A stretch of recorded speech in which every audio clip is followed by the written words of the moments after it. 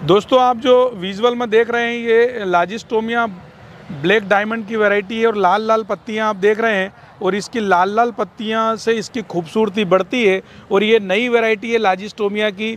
Semi tree और जो है श्रब वैरायटी है। आप चाहें तो इसको अपने घर में एक जगह दे सकते हैं। इसके बारे में पूरी जानकारी चाहिए तो आप हमारे चैनल पर आइए, चैनल को लाइक कीजिए और शेयर कीजिए और सब्सक्राइब कीजिए।